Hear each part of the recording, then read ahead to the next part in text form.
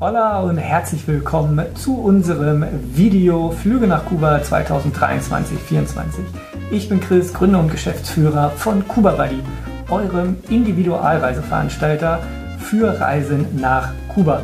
Wir haben ein Büro in Berlin, wo ich gerade sitze, und eins in Havanna und beschäftigen uns mit unserem gesamten Team jeden Tag damit, die perfekten individuellen Reisen nach Kuba zu planen. Heute sprechen wir über das Thema Flüge und klären folgende Fragen. Welche Flughäfen gibt es in Kuba? Welche Airline fliegt wann und wohin? Wie lange dauert ein Flug nach Kuba und wie viel kostet er? Das Ganze soll euch helfen, einen guten Überblick zu bekommen und die beste Flugverbindung für euch zu finden. Auf unserer Seite über die Flüge nach Kuba haben wir nochmal alles aufgeschrieben, übersichtlich, Grafiken, Tabellen. Schaut da auch gerne nach. Vorab noch zwei Infos. Falls ihr noch nicht wisst, dass ihr für die Reise nach Kuba auch eine Touristenkarte braucht, dann haben wir auch alle nötigen Infos nochmal hier unten in dem Video für euch aufgeführt. Und wenn ihr gerade erst am Anfang der Reiseplanung seid und vielleicht in der Gruppe verreisen wollt oder einfach äh, auch mal einen Reisevorschlag haben möchtet, meldet euch gerne bei uns. Wir helfen euch da gerne weiter. So, welche Flughäfen gibt es in Kuba? Es gibt insgesamt acht internationale Flughäfen. Wir konzentrieren uns aber auf die drei, die für uns relevant sind, wo wir gute Verbindungen haben. Und das ist Havanna, also die Hauptstadt, sehr guter Ausgangspunkt für die Rundreisen. Und dann gibt es ganz im Osten noch Eugin, eignet sich auch sehr gut für Gabelflüge. Äh, Eugin ist in der Nähe von Santiago de Cuba. Und für die Strandurlauber ist Varadero der Airport, zwei Stunden von Havanna, direkt eben die schönen Sandstrände anfliegen kann.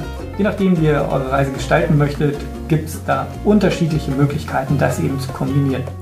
Flugdauer nach Kuba ist äh, 11 bis 12 Stunden ungefähr. Rückflug eine Stunde schneller aufgrund der Erdumdrehung. Jetzt äh, am liebsten fliegen wir natürlich direkt nach Kuba und da haben wir aus Deutschland eine ganz gute Möglichkeit mit Condor und zwar ab Frankfurt. Dieses Jahr bzw. in den Winterflugplan 23-24 könnt ihr an fünf von sieben Tagen die Woche direkt anfliegen. Montag und Freitag direkt nach Havanna, Dienstag und Freitag nach Varadero und Mittwoch und Sonntag direkt nach Belgien. Außerdem haben wir die Möglichkeit, Flüge mit Zwischenstopp ähm, zu nutzen. Das einmal über Paris, Air France, Montag, Donnerstag, Freitag, Madrid täglich mit Air Europa und auch Iberia fliegt über Madrid. Was der Vorteil ist, Madrid liegt einfach auf dem Weg, das heißt, äh, innerhalb von 15 Stunden kann man dann auch nach Kuba gelangen. Und gleiche gilt für die Schweiz. Donnerstag fliegt Swiss Air bzw. Edelweiss. Und aus Österreich haben wir dieses Jahr leider keine Verbindungen. Aber ähm, wer aus Österreich kommt, dann eben äh, über München mit einem Zubringerflug beispielsweise nach Madrid und dann weiter mit Air Europa oder auch dann über Frankfurt direkt mit Condor. Wir haben euch das nochmal auf unserer Flugseite alles aufgeschrieben. Schaut da gerne nach. Flugpreise. Wie viel muss ich ungefähr für einen Kuba-Flug einplanen? Das hängt natürlich sehr stark davon ab, zu welcher Jahreszeit ich fliege. November bis April ist High Season in Kuba. Wenn ihr jetzt noch nicht ganz festgelegt seid oder mehr darüber wissen möchtet, wir haben da einen guten Artikel zugeschrieben, äh, verlinken wir euch hier auch, wann die beste Reisezeit für Kuba ist. Hat alles seine Vor- und Nachteile. Äh, lest euch da gerne ein. Prinzipiell könnt ihr für einen Economy-Class-Flug von Frankfurt mit der Condor nach Kuba zwischen 800 und 1000 Euro rechnen, hin und zurück.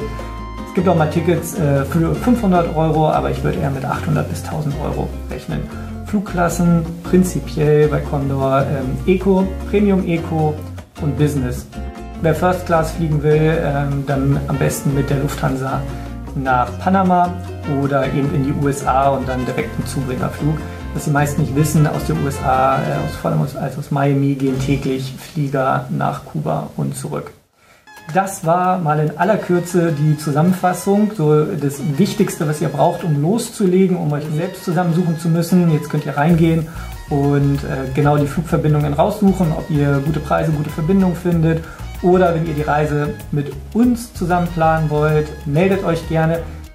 Egal, was ihr in Kuba entdecken möchtet, ob es äh, Havanna ist, ob es die Strände von Varadero sind oder die Abgeschiedenheit und den sehr langsamen Osten. Kuba wird zweifellos äh, für euch eine unvergessliche Reise werden.